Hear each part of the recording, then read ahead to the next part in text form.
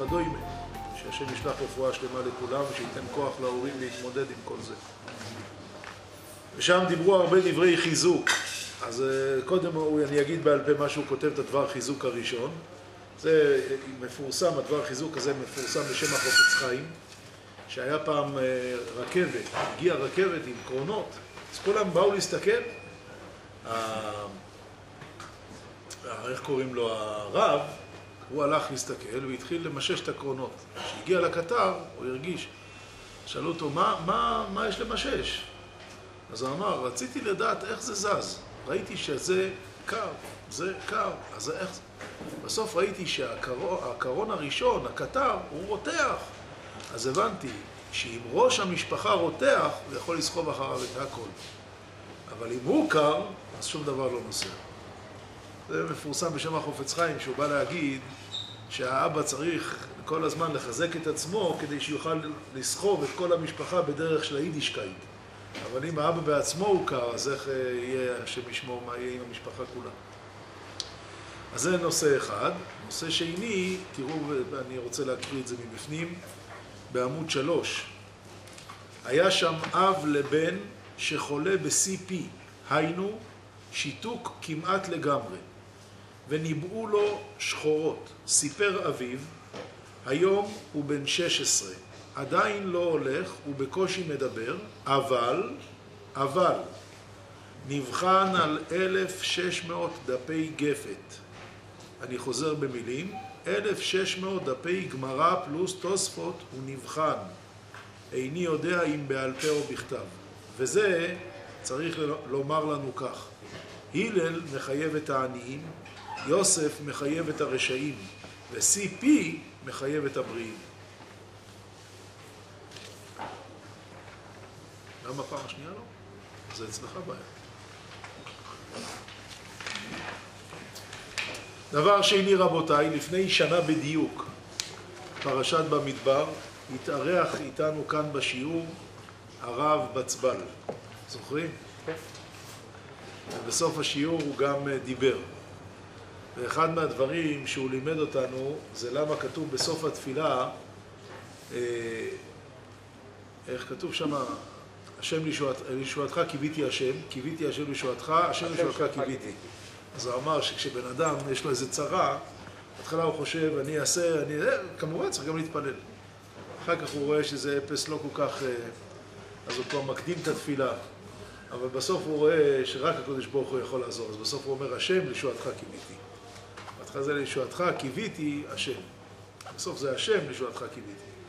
עוד דבר שהוא לימד אותנו אז, וזה דבר שפשוט נזכרתי בו השבוע וחשבתי שזה יהיה מעניין לכולם, האם בזמן התנאים, בזמן שלמה המלך, שלמה המלך היה חכם מכל אדם.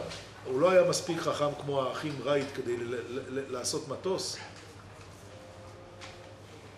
למה צריך את האחים רייט שיבואו ללמד אותנו לעשות מטוס? כמה זמן יש מטוסים בעולם? קצת יותר ממאה שנה. אז הוא הזכיר אז את הבן יהויודע הזה, כתוב שהחיטויפל ודויג האדוימי, תראו בעמוד ארבע, אחיתויפל ודויג האדוימי, היה להם שלוש מאות הלכות פסוקות במגדל הפורח באוויר. ואז אז, אז על זה מביא, ה...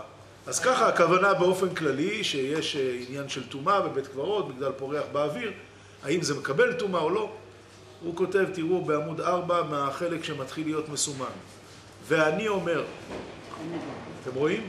ואני אומר, אין מדברים בהלכות מרובות בדבר הנעשה על ידי נס או בשם, כן? איך יכול להיות מגדל פורח באוויר? אתה רוצה שבן אדם ייכנס לתוך קופסה סגורה, אטומה, וזה יפרח באוויר בתוך בית קברות? מה, מה, מה, איך זה יהיה? מה, על ידי שם, על ידי נס, איך? מזה להגיד הלכות? אז הוא אומר, לא, על זה לא אומרים. אך נראה כי מה שנמצא בזמן הזה, מגדל פורח באוויר שקוראים מרכב אל הווה, מה זה מרכב אל הווה ב... זה חוץ. הווה זה חוץ. הווה זה חוץ, בערבית. כן. לא, הווה זה רוח. רוח, או רוח, זהו, מישהו תרגם לי את זה היום רוח. מרכב הרוח, זה מתאים שזה, כמו אנחנו קוראים לזה גם היום, airplane. airplane. אה? לא, airplane, מה זה? air זה אוויר. plane זה מה זה הספינה. יש הר בעמק בית שאן, כוכב הרוחות. בקיצור, אז הוא אומר, אז מרכב הזה שקוראים מרכב אל-הווה, העשוי ומתוקן על פי חוכמה נפלאה, אף על פי שזה נתחדש מכמה שנים, הנה בוודאי היה מצוי ביד הראשונים קודם זמן דויג ואחיתויפל וגם אחריהם. ואפשר שהיה גם כן בדורות התנאים, אלא שאחר כך נשתכחה חוכמה של המגדל הזה, וחזר ונתחדש על ידי חכמי אירופה. ובזמן הקדמון שהיה מצוי זה אצלם, נתחדש במציאות המגדל הזה, אצל דויג ואחיתויפל, שלוש מאות הלכות בעניין הנוגע לטומאה וטהרה. כמו שכתוב במשנה דאוהלות הנזכרת, וזה נושא אחד, טומאה וטהרה, וזה מי שזוכר לפני שנה, שנתיים, ערב פסח היה בלאגן גדול שהרב אה, מנחם הערבה חזר במטוס מעל הבית קברות של חולון, אה, אמרו שהוא נכנס לתוך ניילון בתוך המטוס, כי הוא כהן, זוכרים את זה. אז זה- הנושא של מגדל הפורח באוויר בבית קברות, זה בדיוק זה. חוץ מזה, אה, הן בעניין הנוגע להלכות שבת, בכניסה, יציאה, הושטה, תחומין, והן בעניינים אחרים אשר הם בנויים על ספיקות הנופלים במגדל. וסך הכל של מיני ההלכות הם השלוש מאות. אז זה זיכרון ל- לפני שנה שבצבל ביקר אותנו וזה היה חלק מהדברים שהוא דיבר. אמ, כן, הוא דיבר עוד, עוד דברים, אני רק אזכיר איזה נושא שדום, ש... אמר משהו דומה, אבל גם בתקופת המבול. מה, מה? בדור המבול דיברנו גם על משהו כנס מה? הנפשיץ. תזכיר לי. זה לא הוא דיבר, אז דיברנו פה בשיעור והבאנו את כל הרבי יונס בשיץ בפרשת אה, נוח, אני חושב. כן. עכשיו, אה, הוא דיבר על חללית, כן? רבי יונס בשיץ דיבר על חללית. כן.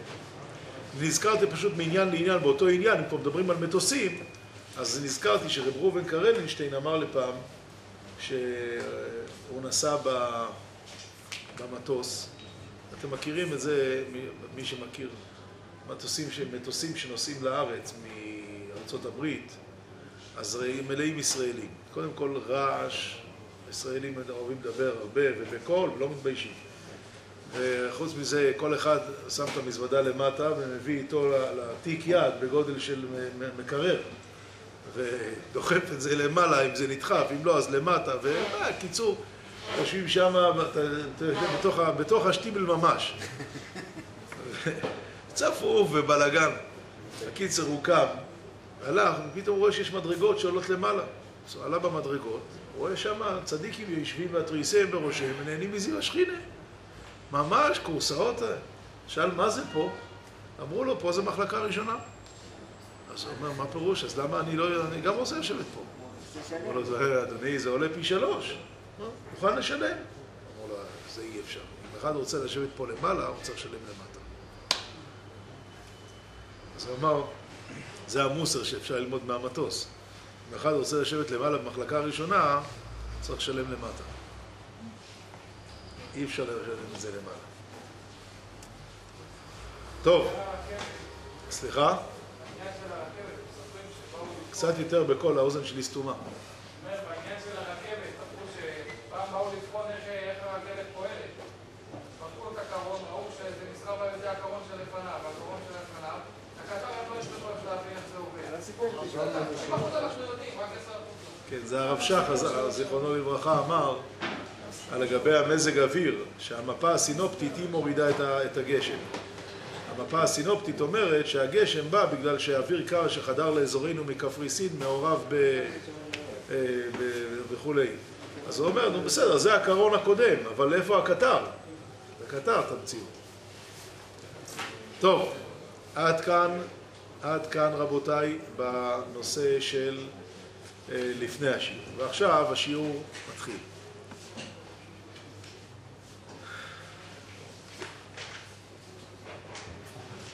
אולי עוד לפני השיעור, בשבת שעברה התארחתי ב...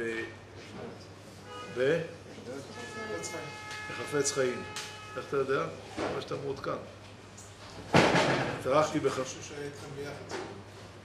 התארחתי בחפץ חיים, והיה שם ארגון הידברות.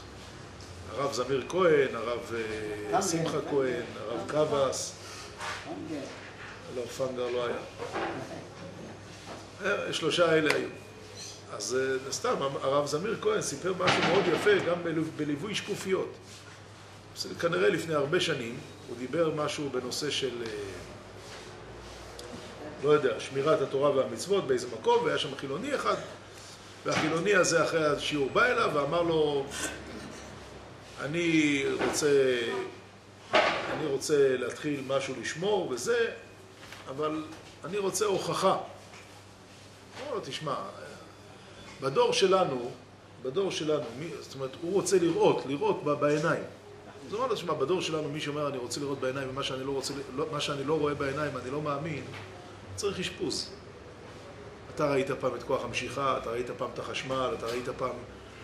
היום מה, מה אתה, מה אתה מדבר? מילא בדורות הקודמים, אבל בדור שלנו מישהו מדבר ככה, מה שאני לא רואה אני לא מאמין?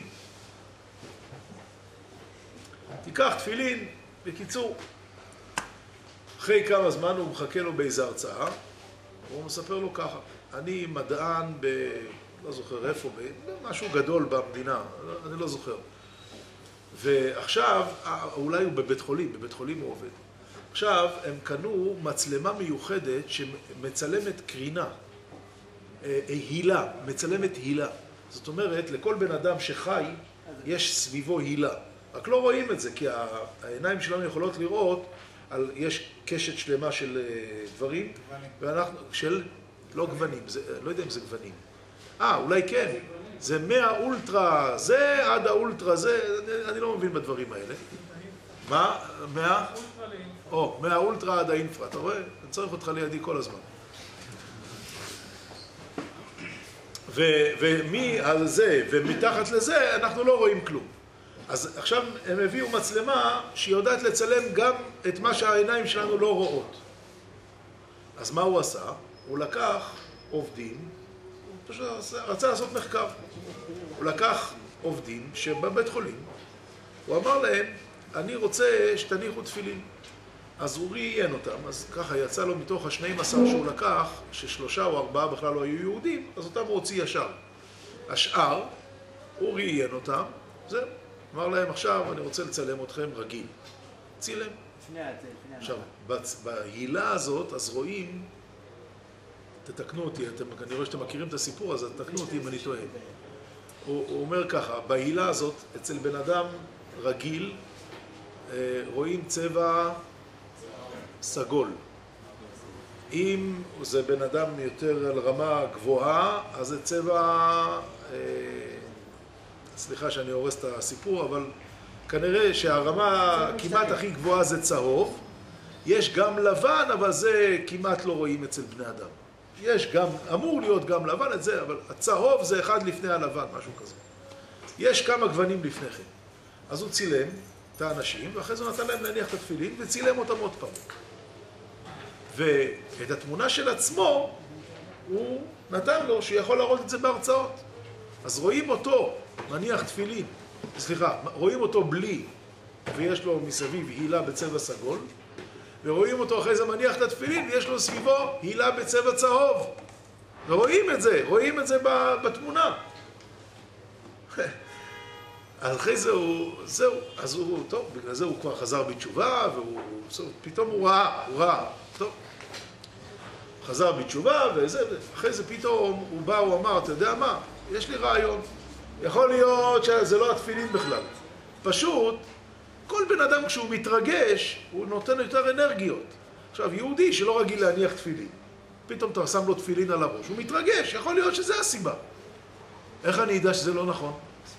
הלך, הוציא, פתח את הזה, פתח את התפירות, הוציא את הפרשיות, סגר את זה חזרה, ועשה עוד פעם את הניסוי. וזה לא עבד. אז הוא אומר, אז עכשיו ראינו שזה באמת התפילין עצמם.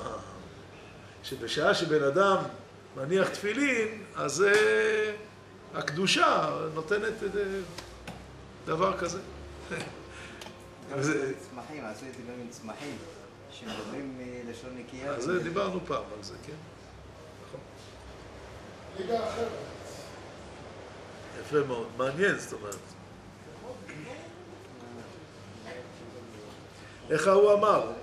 אתה שומע? אחד אמר, מה אתה מדבר? אפילו איינשטיין אמר שזה... הוא אומר לי, מספיק שהרשב"א אמר את זה.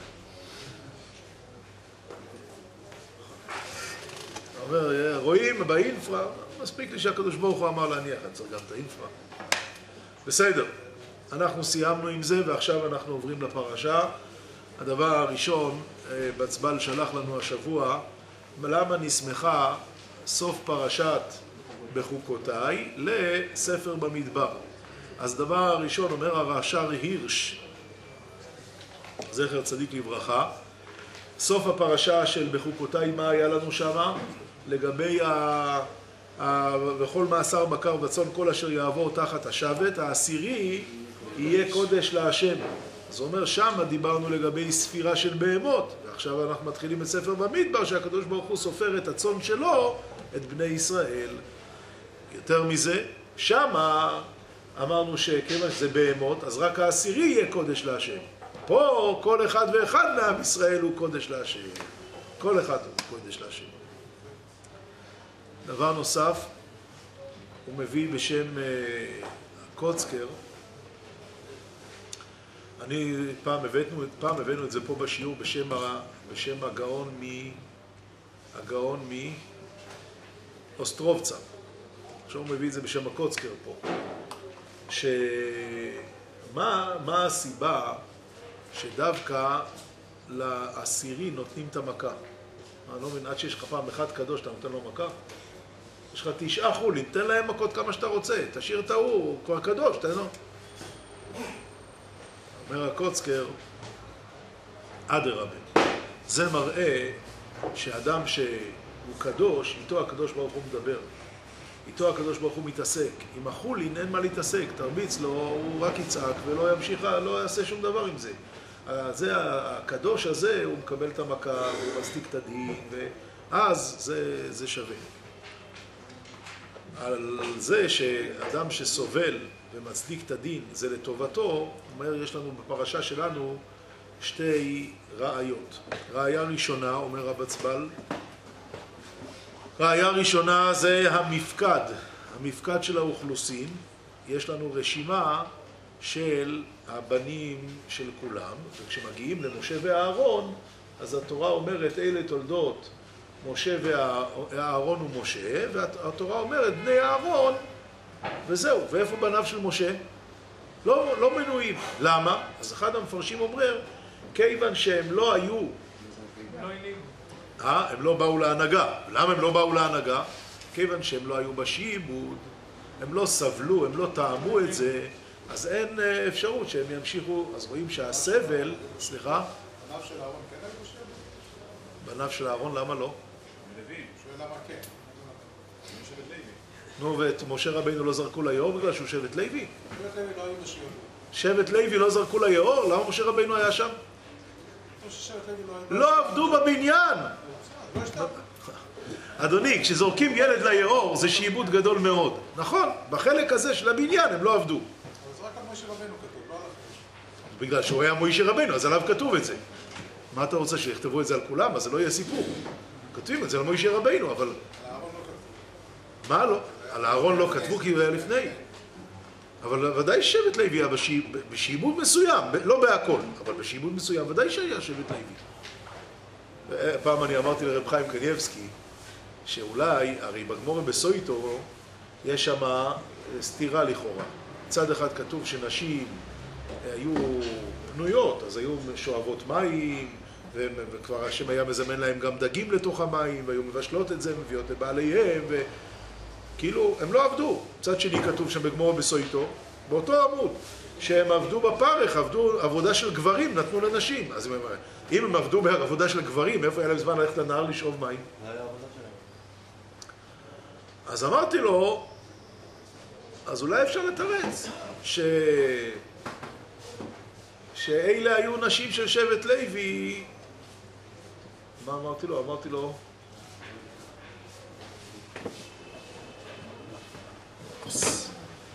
אמרתי לו שאולי, לא, לא שבט לוי, אמרתי לו ככה, אולי...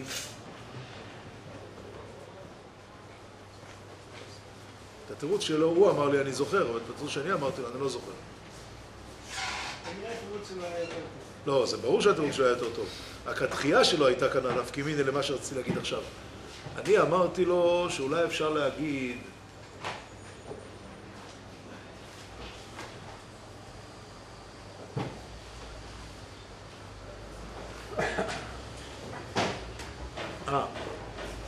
בטוח שזה מה שאמרתי, אבל אולי לפי מה שהוא ענה לי, אמרתי לו שנשים לא היו בשיעבוד מבחינה זאת שבנות לא זרקו ליאור.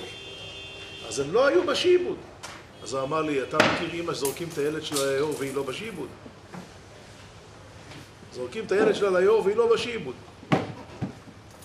אז מה הוא תירץ באמת, אז מה הסתירה? אז הוא אמר פשוט, זה תלוי בתקופות. היה תקופה שהיה ככה, היה תקופה שהיה ככה. טוב. התפקיד של הגברים זה לשאוב מים, זה מה שהם עשו. הם עשו את התפקיד של הגברים, שזה לשאוב מים, ממילא גם מזדמן להם דגים, לשאוב את הרמת הרצאה. כן, אבל זה לא שיש להם זמן לשאוב מים ולשבת לבשל את זה ולבוא ול... כתוב שם בגמרא סדרה שלמה של דברים שהם עשו. אז זה מה שהוא הרגע אמר, זה הבעיה שאנחנו לא שומעים אחד את השני. הוא, הוא אמר שאולי זה, זה גוף הכוונה, שזה העבודה של הגברים, זה לשאוב מים. אז עניתי לו שבגמרא שם כתוב שהם לא רק שאבו מים, שאבו מים, עמדו לבשל, הביאו לבעלים, זה לא עובד ככה, זה, זה נקרא שעבוד.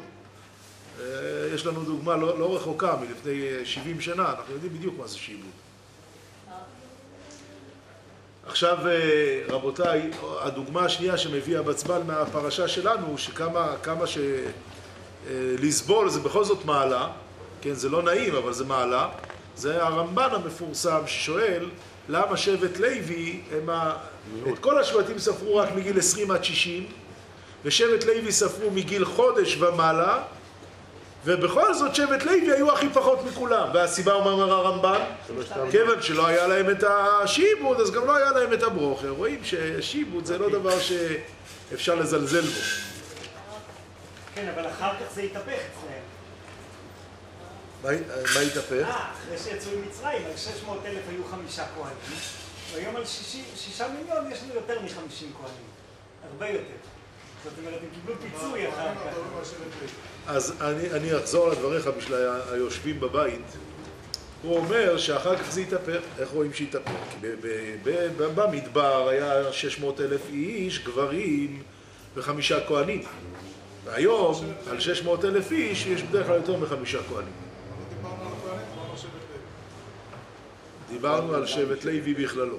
אז עדיין, הטענה שלו עדיין אותה טענה. אז הם לא יודעים כמה יש לוי. אבל אני אגיד לכם, כל אחד יודע את הדבר הזה, שאנחנו אפילו, אפילו לא יודעים היום מי כהנים ומי לא. כך שזה לא ראייה כל כך. אנחנו לא יודעים הרי מי כהנים ומי לא, וידוע שהיו את הצדיקים שפדו את עצמם כמה וכמה פעמים עד שהחליטו להירגע מה, מהפדיון הבן שלהם, של עצמם. זה לא, זה לא כזה קושייה גדולה, יש אה, כל מיני סיבות שחושבים למה, למה יש, למה הבעיה הזאת שיש כל כך הרבה כהנים שאנחנו לא יודעים אם הם מיוחס, אנחנו מכבדים אותם ונותנים להם עלייה והכל, אבל, אבל לא, לא בטוחים בייחוס. יש לזה כל מיני סיבות, אבל זה לא, זה לא הנושא שלנו כרגע.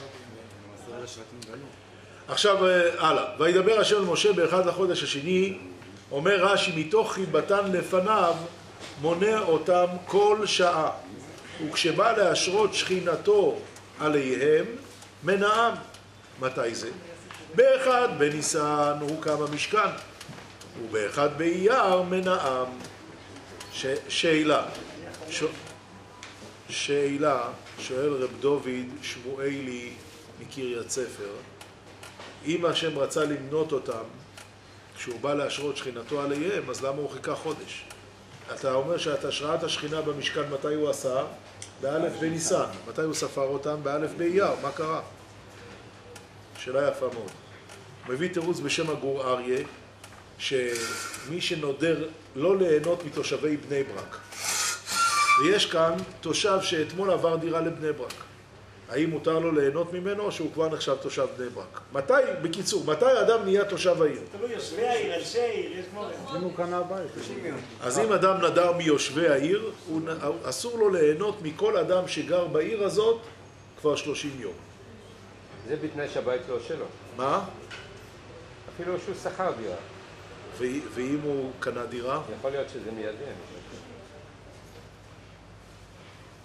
אם הוא קנה דירה זה מיידי. אם הוא קנה דירה אז מה? זה מיידי. אז זה מיידי? אני... מיידי לפי מי? אה? מיידי לפי מי? לפי שככה נראה מרשם התושבים? לפי מי? לא קשור ל... אם הוא גר ברחוב, זה תלוי ביושבי ובאנשי תשמעו, קודם עד סוף התירוץ, אחרי זה נדבר. אומר הגור אריה, שנייה, אומר הגור אריה, הקדוש ברוך הוא קנה דירה אצלנו, בתחתונים, במשכן, במשכן. אבל רק אחרי 30 יום הוא נהיה מיושבי העיר. אז מתי זה נקרא שהוא אישרה את שכינתו? לפי יר, אז הוא מנה את בני ישראל. אבל לפי מה שאתם אומרים, אז זה לא כל כך עובד. למה? כי הוא הבעל הבית, אז... אה, טוב, אני לא יודע. אה? הוא לא קנה, לא קנה בית, הבית שלו זה נייד. אה? הבית שלו נייד. זה טוב, בני 30 ישראל, טוב, אני לא יודע. מה רצית? אני, אני שומע היום מאוד חלש, האוזן שלי סתומה, דבר יותר בקול.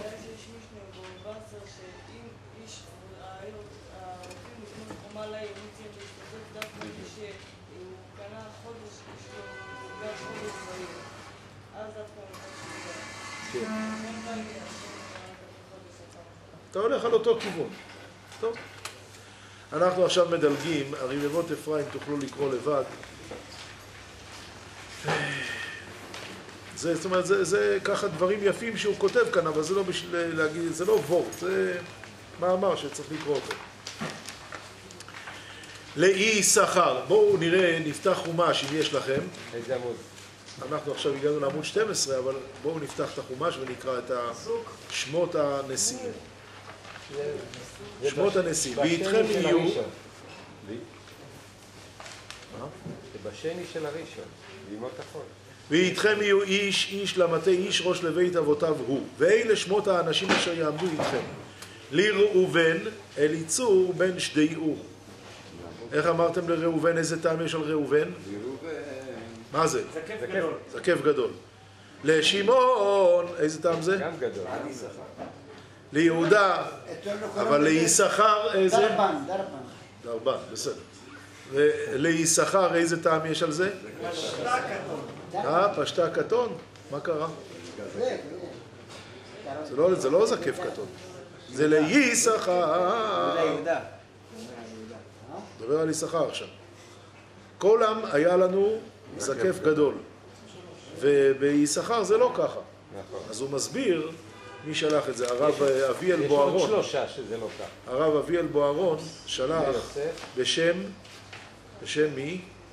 בנימין, בשם מי אני לא רואה. זה? בכל אופן, אז הוא שלח שזה רמז שתלמיד חכם ינוח על מקומו ללמוד תורה בנחת, כדברי המשנה באבות, מרבה ישיבה, מרבה חוכמה, ולא ילמד רק בצורה של ארעי, אלא ירבה בישיבה. אינמי, רמז שלא יהיה קפדן, דהין הקפדן מלמד כדברי המשנה שם, אינמי, לרמוז דברי חכמים בנחת נשמעים. כל זה בא להראות עם הקטון שיש על יששכר, להבדיל מהזקף גדול שיש על כולם. אותו טעם יש על בנימין, בני יוסף, צריכים למצוא סיבה גם שם. אני עושה סיבה אחרת. בני יוסף, אפרים ומנסה, יש להם... לגד, אליסף, ניר עקיבא. ניר עקיבא. ניר עקיבא? לגד, אליסף בן דאואל. אליסף בן דאואל. אז הרב אה, אמש, הרב אמש אומר שתי הקדמות כדי להגיד וורט. מה? באתי בזמן לשמוע וורט על השם הבן שלי. אז אה, ככה הוא אומר. דבר ראשון, כתוב בגמורה בשבס דף קד, א', ב', א', בינה, ג', ד', גמול דלים. גמול דלים, זה ג', ד'. שואלת הגמרא, למה הג' יש לה גב כפוף ורגל אחת קדימה, והיא נראית כאילו היא בריצה אחרי הד'. מה קרה כאן? עונה הגמרא שכן דרכו של גומל דלים, הוא לא מחכה שיבואו לבקש עזרה, הוא הולך לחפש מי זקוק לעזרה. הוא רודף אחרי הדל. הוא רודף אחרי הדל. זהו, עד כאן הקדמה ראשונה. הקדמה שנייה, בסוכה דף כ"ט עמוד ב', כתוב שבשביל ארבעה דברים נכסי בעלי בתים יוצאים לטמיון, שלא נדע מצרות. והגמרא מביאה את כל הארבעה דברים ומסיימת, וגסות הרוח כנגד כולם. אומר רש"י, שמתגאים ומסתררים על אחיהם בשביל עושרן. זה סיבה מספקת כדי שכל העושר ילך לטמיון. שאלה, איך אפשר העשיר יבחן את עצמו, האם הוא גס רוח או לא, איך הוא יבחן את עצמו? אם הוא רץ לפי האדם. פשוט, אם- הוא רץ אחרי האביונים, אחרי העניים, אז ברור שהוא לא גס רוח.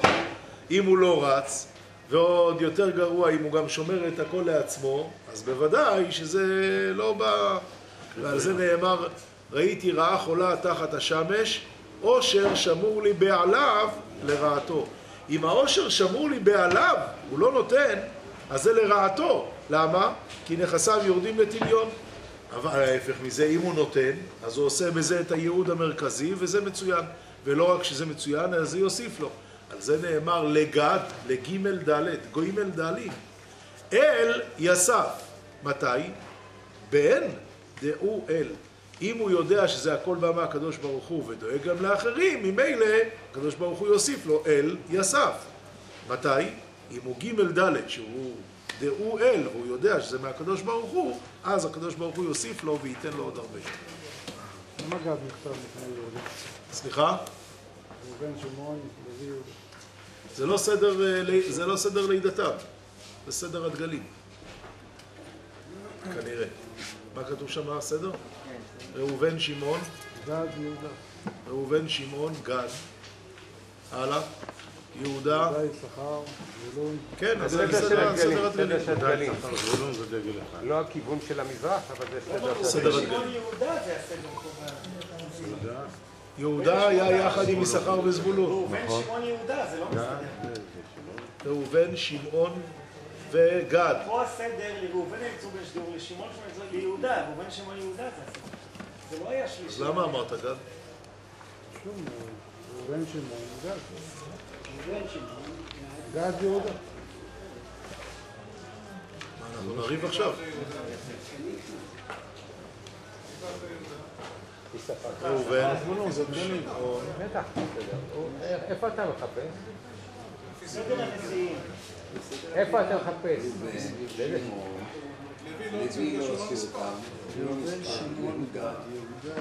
אה, כאן זה סדר הספירה שלהם. ולפי מה ספרו אותם? לא לפי סדר לידתם? לא. ראובן, שמעון, יהודה, יששכר. אה, זה כן סדר לידתם. אה, אחר כך. אה, זה לפי סדר הדגלים. כן. בסדר גמור. תודה רבה. כל העוזרים והמסייעים. מה? לא שומע אותך. הם בדגלים. לא, אני עכשיו לא מספיק מרוכז בשביל זה. בואו נמשיך הלאה. אה, לנפתלי אחירה בן עינן. אחירה בן עינן. אומר אה, האור החיים, אומר האור החיים, מה זה אחירה? שחלק אחיו היה בעיניו רע בערך חלקו. אתה שמעת פעם על דבר כזה? מה? אמרנו לפני כמה שנים, הכי רע בני טוב. פעם הרב שאל, הרי כל השמות של כולם זה שבחים, זה... אה, יפה מאוד, יפה מאוד, זה האור החיים. אומר האור החיים הקדוש, שהבן אדם היה כל כך טוב לו, שהוא אמר, "פש, למה אף אחד לא קיבל כל כך טוב כמוני? שחלק אחיו רע בעיניו בערך חלקו. הכי רע בין עינם. להכי רע, למה נתנו לו כל כך מעט? בדרך כלל, הפוך, זה, תמיד יש לבן אדם טענות, למה לא קיבל מספיק? כאן הפוך. הוא קיבל הכל, ולא נתנו לאחרים. אז. אז על זה, אז מה זה בן עינן? העיניים שלו מסתכלות טוב על אחרים. הייתה אינו מלאה, הייתה אינו מלאה מחלק שנפל בגורלו. עכשיו ככה, הוא מביא בשם הרב רב אליעזר שולביץ. מי זה, יודע, יודעים מי זה הרב אליעזר שולביץ? הוא, היה, הוא פתח את הישיבה. לא, עוד בליטא, בלומז'ה. הוא פתח את הישיבה.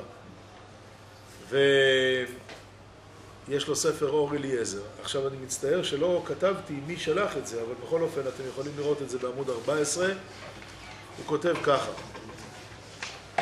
מה נראה לך? בן אדם יראה חזיר שמסתובב באשפתות ואוכל את כל הסחי והמיאוס. יכול להיות שיקנא בו? לא. אבל uh, הוא לא צריך צלחת, איזה כיף לו. מה יוצא לך מזה שאתה צריך צלחת? כל היום אתה רק מגעיל אותך וזה, מגעיל, הוא לא נגעל, הכל טוב לו. בכל זאת אתה לא רוצה להיות חזיר. אף אחד לא רוצה. למרות שהוא דווקא הכי כיף. יש לו עם עצמו. אם אדם הוא רק מגיע לדרגה של איש, לא מעבר לזה, בחזיר הוא כבר לא מקנא. זה ברור. אומר על זה הרב רב לייזר שולביץ, זאת אומרת, הקנאה והתאווה והכבוד מוציאים את האדם מן העולם. אומר, בוא תראה את הדוגמאות. הקנאה זה היה הראשון. הבל קינא באח שלו, והוציא אותו מן העולם. קין קינא בהבל, והרג את אח שלו. למה? ככה. זה נקרא, הקנאה מוציאה את האדם מן העולם. הדבר השני זה התאווה. מי עשה את זה? המבול. התאווה זה דור המבול. השחית כל בשר את דרכו על הארץ. הכבוד מי זה? לא, עוד הרבה קודם. הדור הפלגה, נעשה לנו שם. הנה לך הקנאה והתאווה והכבוד מוציאים את האדם מן העולם. מה, מה עשה הקדוש ברוך הוא? הביא את אברהם, יצחק ויעקב. אברהם אבינו זה חסד לאברהם. מה זה חסד לאברהם? שהוא קירב את כולם, אהב את כולם, לא קינא באף אחד. זה נקרא חסד לאברהם, וזה תיקון למידת הקנאה. פחד יצחק, יראה, זה תיקון לאיזה מידה? של תאווה. והשלישי זה אמת ליעקב, שהוא תיקן את המידה של כבוד, זה דור הפלגה. שלושת הדברים האלה תיקנו את העולם. חסד לאברהם, פחד יצחק ואמת ליעקב.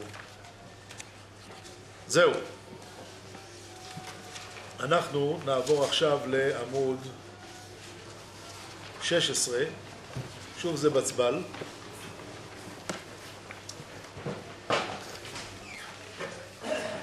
שוב זה בצבל. הוא כותב כאן דברים חשובים מאוד. החצי השני הייתי רוצה לקרוא ביחד. צריכים לעיין בדיבוק חברים, רבותיי. צריכים לעיין בדיבוק חברים להיות. להיות, אבל לזכור שכל אחד ואחד הוא יחיד בעבודתו ולא יכולים ללמוד מאחד לשני. כי כל אחד יש לו עבודה מיוחדת. כמו שמספרים על הרב הקדוש רב זושה, שהיה אומר, הוא לא מפחד שבשמיים ישאלו אותו למה לא היית משה רבינו, למה לא היית בעל שם טוב. הוא ישאל אותו רק דבר אחד, למה לא היית רב זושה? כי כל אחד ועבודתו, וזה יכולים ללמוד בפרשתנו בסופו, כתיב וזאת עשו להם וחיו ולא ימותו, וחיו ולא ימותו בגישתם את קודש הקודשים. אהרון ובניו יבואו ושמו אותם איש איש על עבודתו ואל מסעו. ולא יבואו לראות כבלה את הקודש ומתו. רואים שכל אחד יש לו את העבודה שלו, ולא צריך להסתכל על העבודה של מישהו אחר. רק כל הזמן לנסות למצות את מה שהוא קיבל מהקדוש ברוך הוא ולמצות את התפקיד שלו בצורה הנכונה. כמה אנחנו רחוקים מזה, אה? כל הזמן אדם רוצה להיות כמו השני, ואם הוא כבר יותר טוב מהשני, מספיק לו, הוא לא צריך. למרות שזה בכלל לא קשור, אולי אתה יותר טוב מהשני, אבל יש לך כישרונות שאתה יכול להיות פוגע יותר טוב. וזה לא טוב ככה. אה? אם לא אני, לא אני ואתה לא... אם אני אני ואתה אתה, אז אני אני ואתה אתה, אבל אם אני לא אני... אבל אם אני לא אני... אם אני לא לא אתה אתה, ואתה לא אני, אז אני הוא אני ואתה הוא אתה. אבל אם אני לא אני... ואתה לא אתה. אם אני אני כי אתה אתה, ואתה אתה כי אני אני, אז אז אני לא אני ואתה לא אתה. אבל אם אני אני כי אני אני ואתה אתה כי אתה אתה, אז אני אני ואתה. זה לא זה, אבל זה בסדר, פחות או יותר. זה, זה, דומה לזה. יש, יש על זה שיר, שאחרי זה שמעתי שיר של מישהו על זה. אה, של מי? אני לא זוכר. ביידיש, ביידיש. מי? מרדכי בן דוד. עשה עם איזה שיר. טוב. מה אתה צוחק? נכון חיים כן. הרינו דובר בשמו אמרי. אז מי? אדם שמנסה לחקות את מישהו אחר, בסוף הוא לא הוא ולא הוא, הוא נופל בין הכיסאות. הפסדנו אותו פעמיים. גם אתה לא אתה וגם אתה לא ההוא. דיברנו על זה לפני שבוע, לא? לא, יותר. שבוע, שבועיים. לא, שמפסידים פעמיים. לא דיברנו על זה לפני שבוע, שבועיים? מילא אני לא זוכר, אבל למה אתם לא זוכרים? כי אתה לא זוכר. אתה מקרין על זה. הדוב והקוף, נו, מזכירים? לפני שבועיים. לא, והקוף לפני שבועיים היה. הדוב והקוף? בגן חיות. בחמור. אה, פילי פלואים, פילי פלואים. כן, כן, כן. אה, זהו, הקראתי את זה מהאלון, יפה מאוד. הדוב והקוף. כן, עם זה הדוב לפני שבועיים, לא והקוף. שבוע. שבועיים. אפילו אפילו שלושה שבועות. לא, לא, שבועיים. שבועיים. הרב, אל אה, תגזים. אל תגזים. שבועיים. לוקח לי... מישהו אמר לי השבוע, בגיל שלנו לא זוכרים שלושה דברים. מספרים, שמות, דבר שלישי אני לא זוכר. כבר לא זוכר, זהו.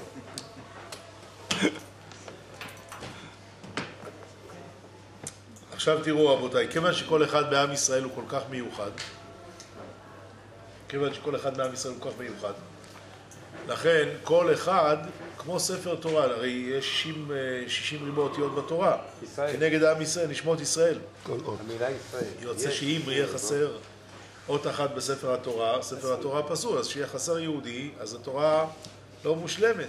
עכשיו תאר לך, אומר בשם רב קיבי איגר, תאר לך שהלכו לשרוף ספר תורה, לפסול ספר תורה, היה חסר אות בספר תורה, ומישהו תיקן. אז זה מעשה חשוב, לא? נו, אז תאר לך שאתה עזרת ליהודי להיות מה שהוא צריך להיות, אז תיקנת את כל הספר תורה של הכלל ישראל, לא את הספר תורה שלו. ספר תורה של כלל ישראל, עכשיו כל הכלל ישראל יותר מושלמים.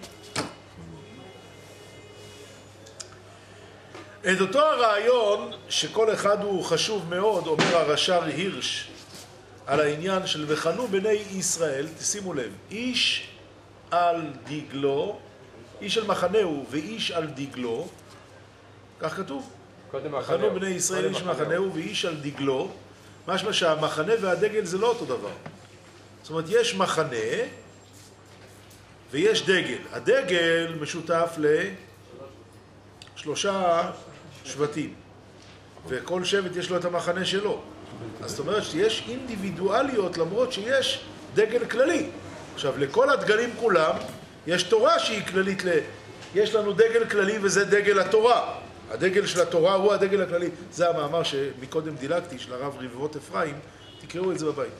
אז הדגל הכללי הוא דגל התורה. עכשיו, יש לך אינדיבידואליות, לכל שלושה שבטים יש דגל משותף. יש לך בתוך זה שבט. שלך. וכמובן שגם בתוך השבט יש לך את האינדיבידואליות שלך. כך שכל אדם באמת צריך למצוא את מקומו, וצריך המחנך, הפדגוג, שבא לחנך ולעזור לילד לגדול ולפתח את האישיות שלו, למצוא את עצמו, הוא חייב להיות ער לאינדיבידואליות של כל אחד ולנסות לעזור לו בדרך שהוא צריך.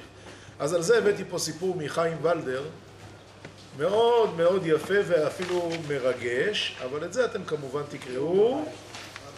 איפה? סימן שאתה יודע כבר, יפה מאוד. מתי מדלגים על סיפורים? מה? לא. זה סיפור שאם אני אספר אותו אני אהרוס אותו, חבל. לא, לא. לקרוא אותו זה מאוד מרגש. אנחנו עברנו עכשיו לעמוד 29.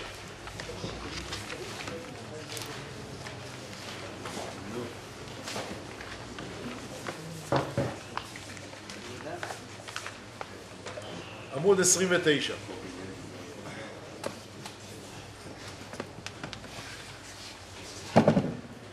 עכשיו נפתח בפרק א', פסוק נ"ג.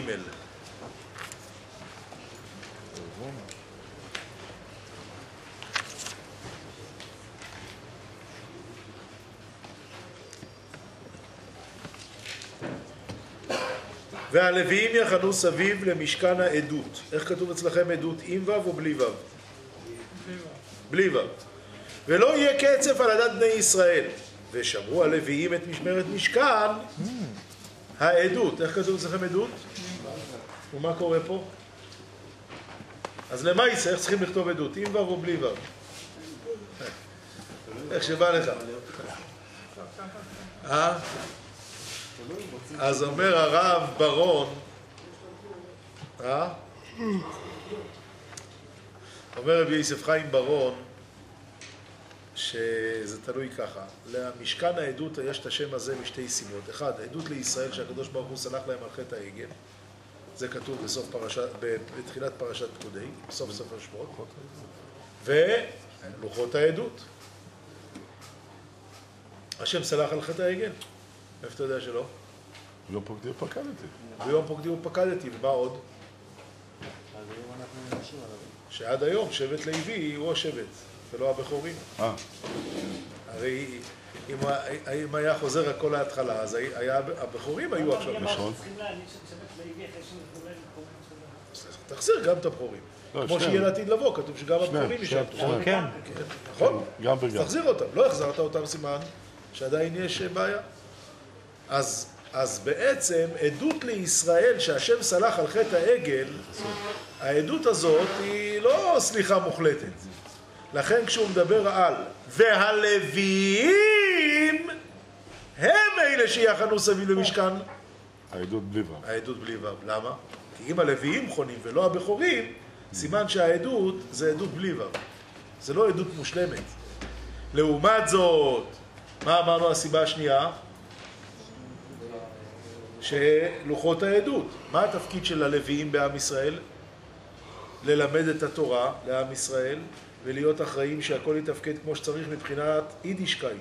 לכן הוא אומר, ושמרו הלוויים את משמרת משכן העדות, עדות עם ו', כי התורה היא מושלמת. פשוט. הלאה, פרק ב', פסוק ב', איש על דגלו, וידבר השם למשה ולאהרון לאמור, איש על דגלו באותות לבית אבותם, יחנו בני ישראל מנגד, סביב לאוהל מועד יחנו. מנגד, סביב לאוהל מועד יחנו.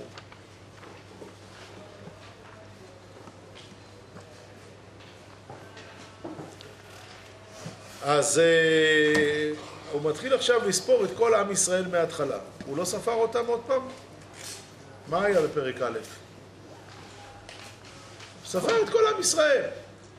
מתחיל פרק ב', עוד פעם אותו הסיפור. בשביל מה? ובסוף, בסוף פרק ב' הוא מסיים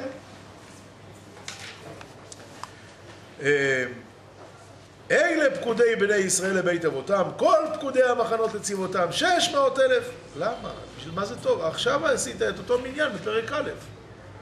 אומר על זה הרב שבוב, ותודה לרב דוד שמואלי ששלח את זה. אומר על זה הרב שוואב או שבוב, זה רב מוישה, לא רב מוישה, רב שמעון, רב שמעון, שהיה באמריקה. הוא אומר, תאר לך, תאר לך, שיום אחד באיזה בית כנסת הגבאים מחליטים, שלוש ראשונות ראשונות של המזרח עוברים אחורה. אלה מאחורה מתקדמים. מה אתה אומר? מלחמת העולם השלישית, הרביעית והחמישית ביחד. מי יסכים דבר כזה? מה פירוש? קוראים לזה רוטציה, זה אף פעם לא הצליח. מילא להעביר את החבר'ה אחורה, זה כבר לא מספיק לבד. עוד להעביר את אלה קדימה? עכשיו תשמע. בא הקדוש ברוך הוא בפרק ב' ואומר ככה: וידבר השם אל משה ולאהרון לאמור איש על דגלו באותות לבית אבותם יחנו בני ישראל מנגד סביב לאוהל מועד יחנו ואיפה יהיו הלוויים? שים לב לפרק א' פסוק נ"ג והלוויים יחנו סביב למשכן העדות זה מה הפירוש? עד עכשיו מה היה? הלכו איך שרצו עכשיו הוא אומר, רבותיי, להתרחק, להתרחק, להתרחק. אתם תבואו קדימה. אתה יודע מה צריך להיות עכשיו? הבלגן של העולם. ואיך עם ישראל עשו את זה? כתוב כאן, וילכו, ויעשו בני ישראל ככל אשר ציווה השם את משה, כן עשו. אמר להם, אם ככה בואו נספור אתכם מחדש. כך? אם ככה נספור אותך מחדש. להודיע חיבתם. עבר בלי, בלי, בלי מכות זה עבר. בלי מילה, ויעשו בני ישראל. ככה צריך לספור אותם מחדש.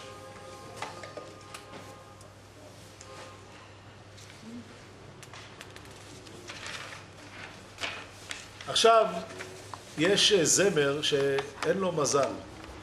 מי מכיר את ה... שמואל, אצלכם שרים את מה יפית? אומרים היום, הוא רקד מה יפית לפני הפריץ, מילת גנאי כזאת. הסיבה היא שפעם היה זמר שנקרא מה יפית, ומה נעם תאווה בתענוגים, וכנראה שהיה לזה מנגינה יפה, והפריצים יימח שמם היו מכריחים את המושקה לרקוד את המה יפית הזה, וזה עשה כזה מין גועל שפשוט הפסיקו לשיר את השיר הזה. כנראה שזה הסיבה. אפשר לשנות את הליכוד.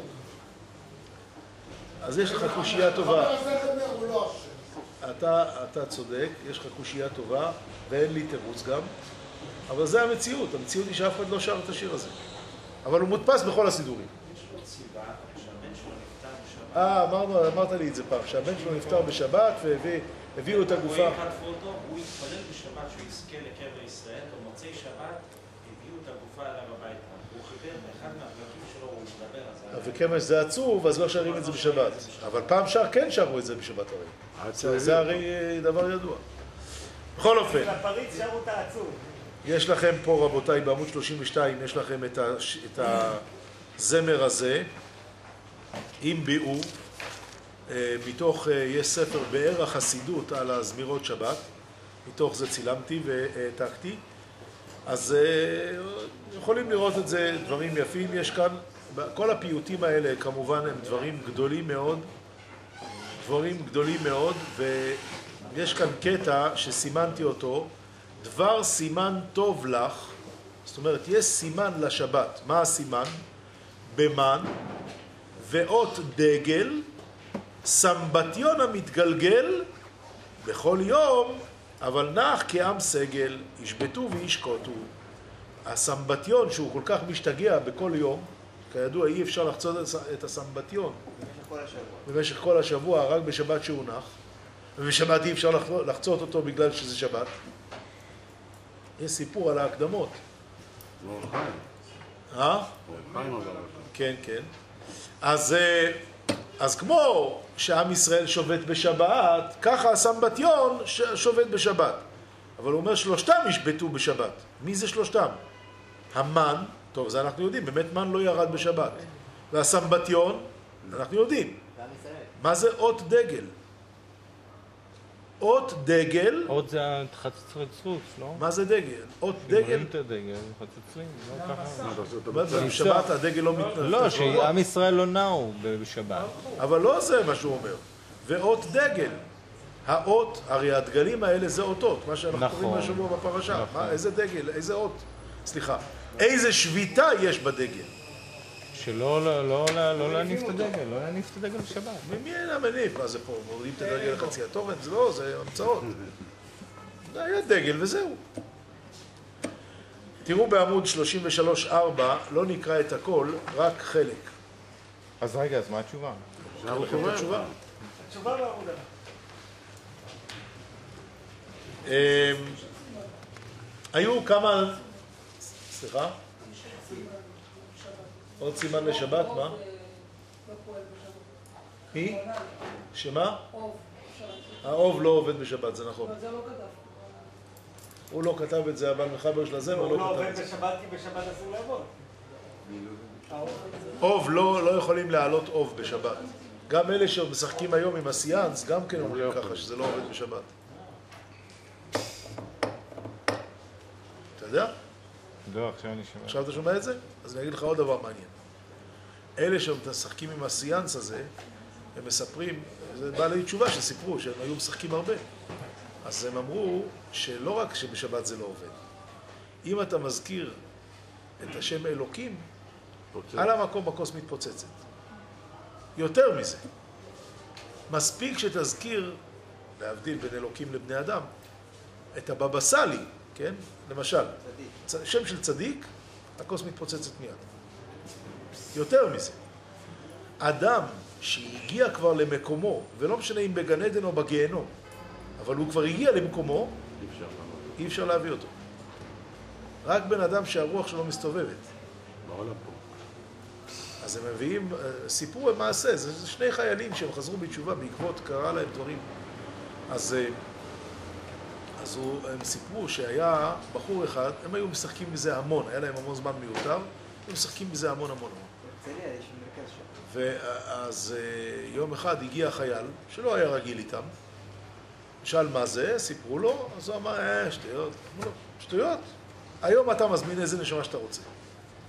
אז הוא אמר, אני אזמין את הנשמה של אבא שלי. הוא הזמין. והגיעה הנשמה. עכשיו הוא אמר, איך אני אדע שהם לא עובדים עליי? אני שאל אותו שאלות שרק שנינו יודעים. הוא שאל אותו, הוא ענה לו. זה היה אבא שלו.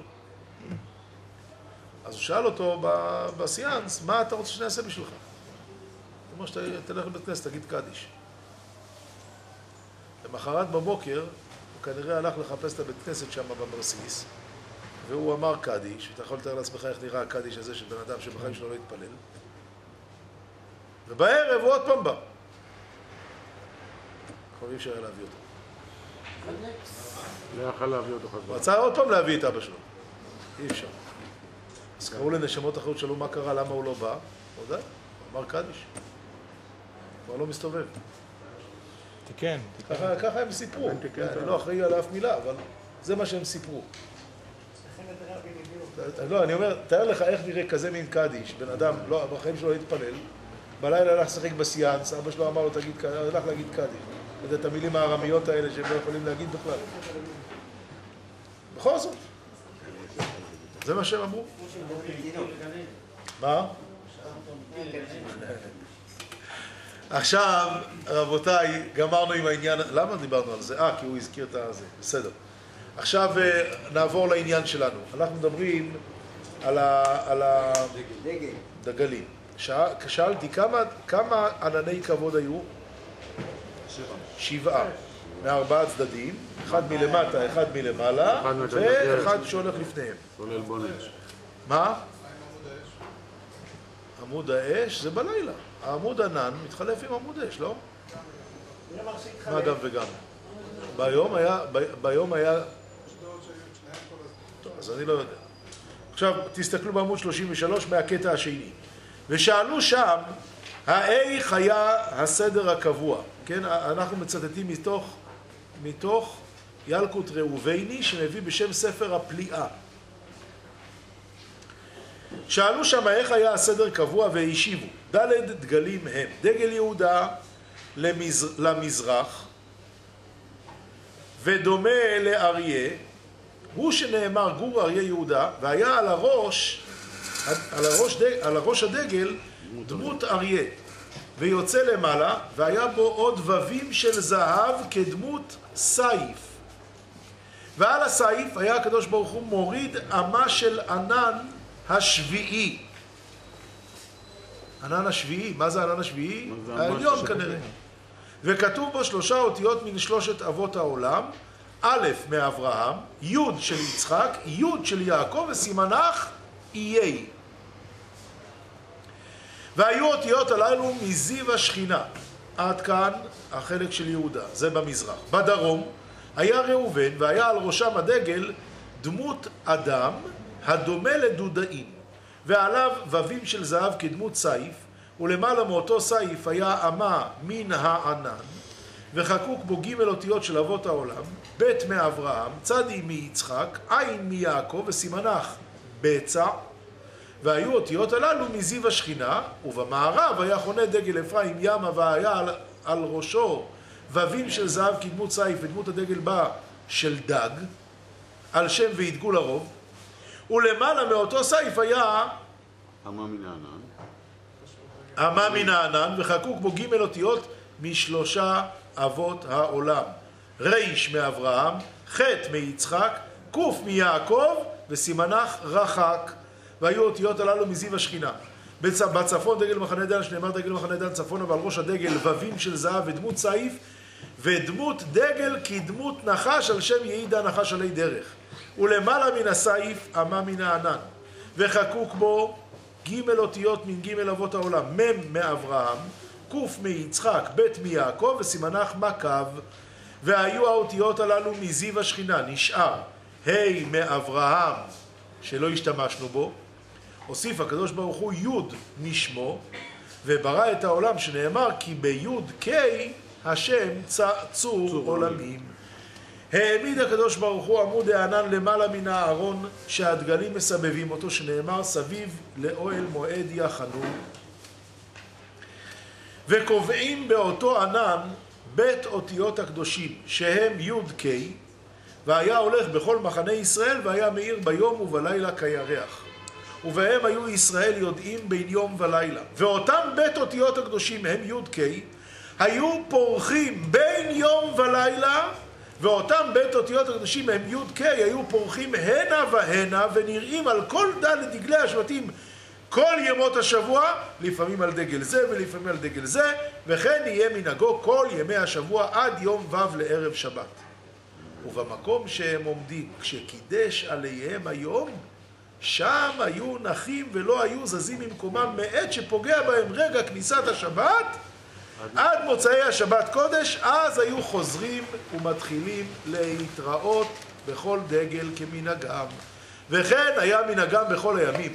וכשהיה הקדוש ברוך הוא רוצה לישא המחנות, היה ענן ששם י' ק' נוסע מעל הארץ, והיו ד' עננים שבהם איי בצע רחק מקו נוסעים אחריו, וכשהכהנים רואים העננים הללו נוסעים ועומדים אחר העמוד שבו י' ק' תוקעים בחצוצרות, והיו רוחות העולם מקוטרות מור ולבונה, הוא שכתוב מי זאת עולה מן המדבר, מקוטרת מור ולבונה, עד כאן לשונו שם, ועם הדברים נפלאים. ובזה מובן היטב עניין הסימן שהיה בדגלים שבמדבר לגבי שבת קודש ודוק. י"ק היה נח. גם למה של אברהם לא השתמשו בזה? אם היו משתמשים עם האי של אברהם, כל האותיות של האבות, האות הרביעי, היה יוצא ק' ב' ה', זה מלשון קללה. אה, יפה. על זה אמר בלעם, מה אקור? איזה לא יפה. יפה הוא לא- מאוד. הוא לא- הוא יפה מאוד. הרב הופמן מוסיף, הרב הופמן מוסיף משהו יפה מאוד. אומר הרב הופמן, שבאמת למה דילגו על ההי של אברהם? הרי אמרנו, א', י', י', זה האותיות הראשונות. אחר כך יש לנו אה, ב', אה? בצע, זה האותיות השניות. אחר כך יש לנו מקו, זה האותיות השלישיות. ואחר כך מה? האותיות האחרונות. למה לא, למה דילגו על ה-A? אז הוא אומר, אם היו לוקחים את ה-A, היה יוצא A, ק' וב'. מה זה? קבו. קללה. ואת זה הקדוש ברוך הוא לא רצה.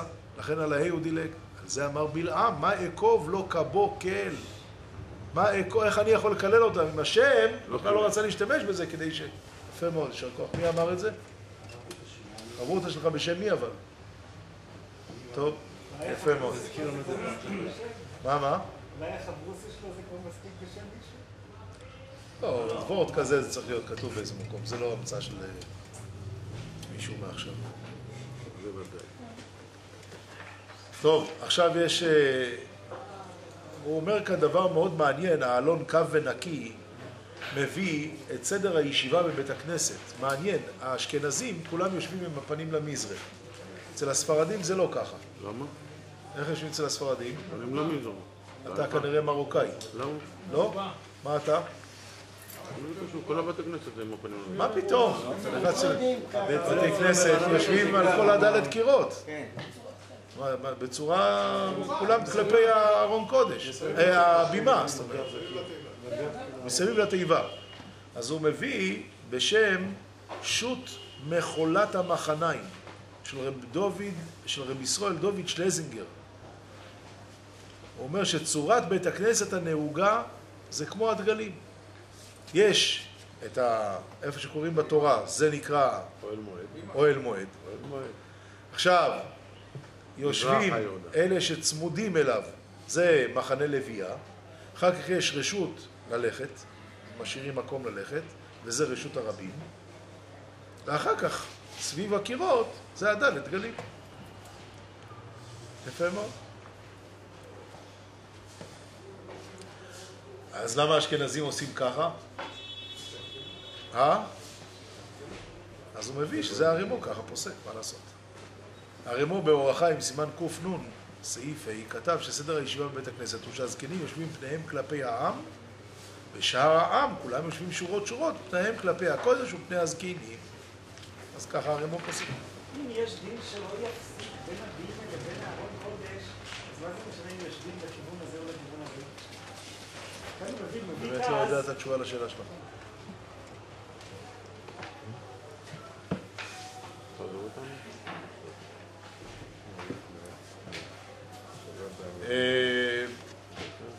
אנחנו עוברים לעמוד 38, איש על דגלו, זה זה ככה. פשוט. הוא אומר שההפסק, ההפסק בין הארון קודש לבין אבימי, זה בגלל שנראה שמישהו יושב פה ויהיה הפסק שהמברך משתחווה לו. אבל משתחווה לו זה רק באמת אם יושב עם פניו למברך. אם הוא יושב זה לא... איש על דגלו זה אומר גם לגבי העניין שיש לכל אחד את המנהגים שלו, את העדה שלו וכולי וכולי ותראו בעמוד 38 סיפור יפה, מצאתי את זה בספר מתוק האור הוא מביא שהרב מן במוצאי תשעה באב ניגש אליו יהודי שאל אותו אם הוא יכול לגשת לעומד אבל הוא רגיל נוסח ספרד, הוא רוצה להגיד שרמה אלוהיס ושם בישיבה אצל רב מן זה כמובן היה נוסח אשכנז. אז השאלה אם הוא יכול לגשת נוסח ספרד להגיד את השיר המאלויס. אז אמר לו רב מורדכי מן, אנחנו עכשיו יושבים כבר לילה ויום על הארץ בגלל הבעיות האלה, אז אתה תגיד שיר המאלויס ותתפלל. שלא יהיה זה לפני התפילה, לפני התפילה, שיגיד משהו יפה. יש אחרי זה עוד סיפור.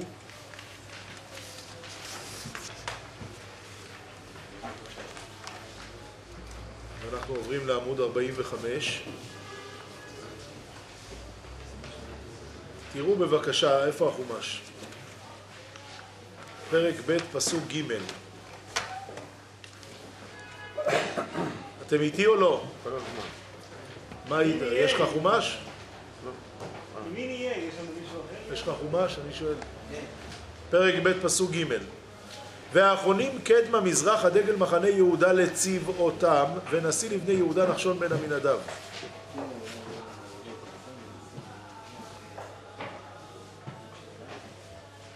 זה היה דגל?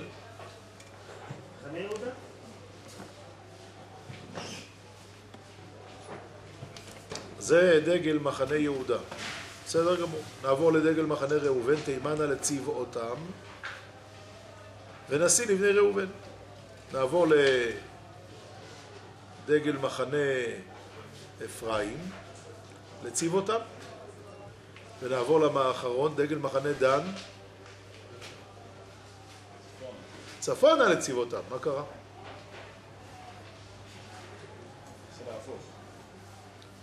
תמיד כתוב קודם. קודם כתוב לצבאותם ואחרי זה... מה? גם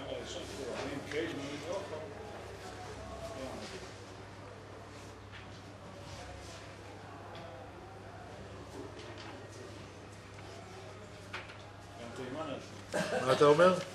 ביהודה, ביהודה כתוב קדמה מזרח, הדגל מחנה יהודה לצבאותם. גם אצל ראובן כתוב, תימן- תימן על הצבאותם. אה, כאן זה הפוך. בגלל שאין להם אה, פסל מיכה. אפרים כתוב לצבאותם ימה. או, הוא השונה. לצבאותם, איזה, איזה צד זה ימה? את השאלה הזאת, את הדיוק הזה, אומר הרב פנים יפות, ואחרי תקופה ארוכה של יובש, מבחינתנו, אצלו זה כמובן הכל, אה, כל הזמן יש חידושים, אבל מבחינתנו, הרב אייכנשטיין מאופקים שלח השבוע חומר. הפנים יפות, הפנים יפות שואל את השאלה הזאת, למה רק אצל אפרים, שכתוב ימה, סליחה, לצבאותם ימה, האחרים כתוב קודם את הכיוון ואחרי זה לצבאותם. אז הוא אומר על פי שלוש הקדמות. הקדמה ראשונה, הקדמה ראשונה, מה זה המילה צבי? צבי תפארה, זאת אומרת צבי זה יופי. שהקדמה שנייה, צבי אמרנו זה כיסוי. זה יכול להיות כיסוי, זה יכול להיות יופי, כן? צבי תפארה, זה גם כן עובד. הדבר השני, הדבר השני רבותיי, אה, הקדמה שנייה, אה, הקדמה שנייה, כתוב שכן המקום על יושביו. שלוש חינות הם, חן אישה על בעלה, חן המקום על יושביו, והשלישי, חן מקח על מקחו. עכשיו דבר, אה, הקדמה, אז שתי הקדמות פה יש לנו, הקדמה שלישית מהי? במערב נמצאת השכינה. זה נכון או לא? כן. שנאמר, השם מתימן יבוא. לא, תימן זה דרום. אז איך כתוב שמה? טוב, אני לא זוכר, אמרתי סתם פסוק שאולי הוא לא נכון. הגמרא במסכת בו בבשרה אומרת, דף כ"ה, שהשכינה שורה בצד מערב. יוצא ככה. כל שבט, כל דגל, קיבל צד. ההוא קיבל צפון. הוא שמח מזה? כן, אבל רק אחרי שהוא קיבל את זה, כי אז נהיה חן המקום אל יושביו, אז הוא שמח עם זה. יוצא שלצבעותם, צבעותם זה יופי שלהם. אבל זה היה רק אחרי שהוא קיבל את זה. אז היה צפונה, ואז זה היה לצבעותם, זה היה לו יופי. ההוא שקיבל במערב, שם זה השכינה. אז שם זה קודם כל, קודם כל לצבעותם, ורק אחר כך הצד, מה, ברגע שהוא שמע שזה הצד שלו, הוא כבר שמח מאוד. עוד לפני זה נהיה שלו. הוסיף על זה הרב, הוסיף על זה הרב אה, אייכנשטיין, עד כאן זה פונים יופריס. אומר הרב אייכנשטיין, אז למה באמת הדגל הזה קיבל את המערב, מהשקום השראת השכינה? בואו נעשה חשבון. מי זה שקיבל את המערב? מי זה? דגל מחנה אפרים. ומי חונה עליו? מנשה ובניומין. אהה, אז זה כל הילדים של רחל. אה, אנחנו שומעים שבניומין זכה גם למקום... למה? כי הוא כל הזמן רצה שהוא אה, חופף עליו כל היום. איך מגיעים לזה? מה, מה קרה? למה דווקא הם? חס ושלום לים. אמר, תשמע, יבואו לאישה ויגידו לה, תשמעי, תוותרי על בעלך, על החתן שלך, בשביל מישהו אחר. ואין לך סיכוי למצוא חתן נוסף. יש סיכוי שמישהי מוותרת? אין, אין באמת בעולם שום דבר כזה, לא, באמת לא ייתכן. היחידה שעשתה את זה הייתה רחל, וכשהאופציה השנייה זה עשו, כן? האופציה השנייה זה עשו, בכל זאת היא ויתרה. למה? כי רחל לא הלכה לבנות בית בשביל רחל. רחל הלכה לבנות בית בשביל מקום לאשרועס השכינה. אז תגיד לי, יכול להיות אשרועס השכינה מזה שאחותי תתבייש? אז הנה ויתרה לה כדי שלא תתבייש. אם זה מה שמטריד אותך, אז מקום לאשרועס השכינה יהיה אצל הילדים שלך. הם יקבלו את המערב ואת את הבית המקדש גם כן. זה אומר הרב אייכנשטיין מאופקים. אפשר לחבר את זה גם שבנימין נכנס ראשון לים, אז גם, גם על זה הם קיבלו. כן, נכון. זה גם, גם מסירות נפש. לכלל ישראל.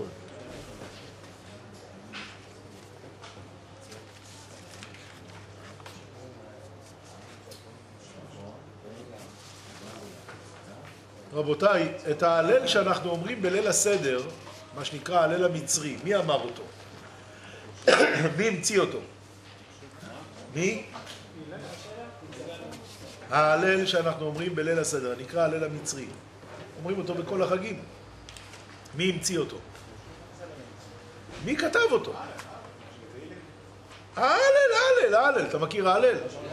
מה שאומרים בראש חוידש, בלי ברכה, אה, חציר ההלל.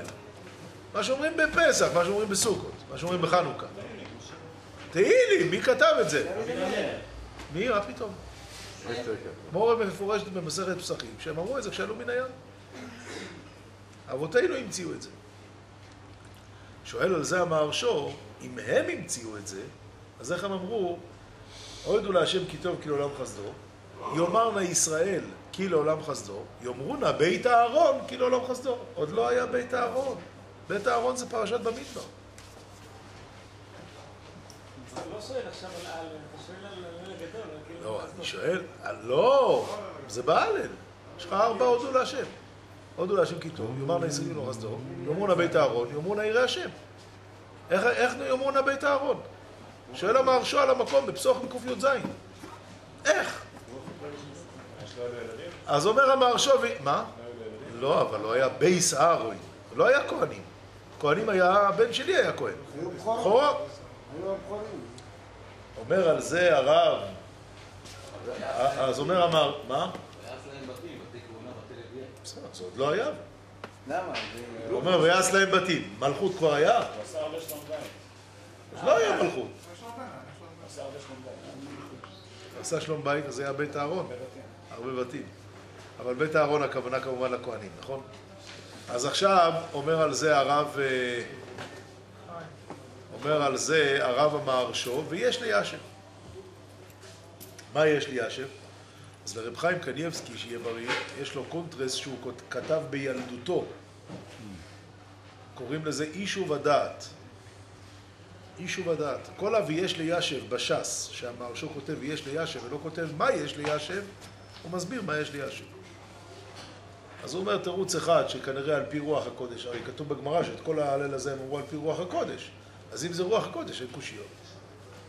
פירוש שני הוא אומר, יכול להיות שבאמת כשהם אמרו את זה, הם אמרו, אמ, יאמרו הכהנים, יברך את הכהנים, או יאמרו הכהנים כי לעולם חסדו. לא יאמרו בית אהרון. מה? כהנים היה, בכורים. כהנים מלשון כהונה. אז זה מה שהם אמרו. אחר כך שזה השתנה ובמקום בכורים נהיה בני אהרון, אז בית אהרון. שינו את המילה הזאת, אבל ב- ברעיון זה אותו הרעיון. שירת הים גם שרו ברוח הקודש? שירת הים, בטח ברוח הקודש, למה? זה כולם את המילים. אה? יש לו קונטרס יישוב הדס. אז באיזה עמוד? בעמוד 49.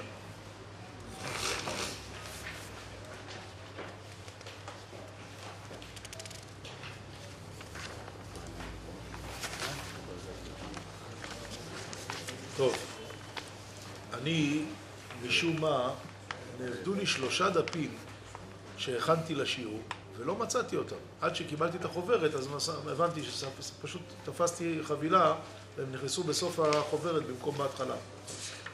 אז יש לכם אה, את זה בסוף, בעמוד 57, 8, 9, 10, 60. דבר אחד הוא אומר, זה הכל תפוחי חיים. אז דבר אחד הוא אומר, התפוחי חיים, דבר יפה מאוד. הוא אומר, היום יש הרבה בעלי תשובה. חי כמו גוי, לא ידע מהחיים שלו. חזר בתשובה, נדלק לו, ברוך השם, חזר בתשובה.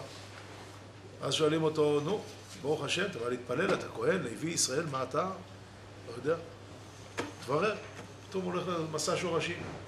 במסע שורשים מתברר שהוא נכד של הגאון מווילנה, נכד של אחידו, נכד של עמקי ואיגר, נכד של אה, בעל שם טוב. אתה יודע, יש היום... ואז... אה, או, אני שייך, אני... הוא נולד מחדש. זה הכוונה, והתיילדו על משפחו יסוד. כשהוא שומע מי המשפחה שלו, אז הוא נולד מחדש. אבטמסטית? אה? שהוא היה נכד של האבטמסטית? כל אחד עם הזכות אבות שלו. אמת, אמת. זהו, אני עייף מדי בשביל להמשיך היום. אני מאחל לכולכם שבוע טוב. עכשיו תראו רבותיי, רק שנייה, רק שנייה. שבוע הבא זה השיעור האחרון לפני חג שבועות. החוברת של שבועות, כמו תמיד, כבר כמעט מוכנה, זאת אומרת, זה חומר שאני אוסף הרבה זמן. אז אני מבקש לשלוח, מי שרוצה לשלוח חומר, לשלוח לא יאוחר מיום ראשון שני, ושוב, החוברת תהיה אהבה כמובן.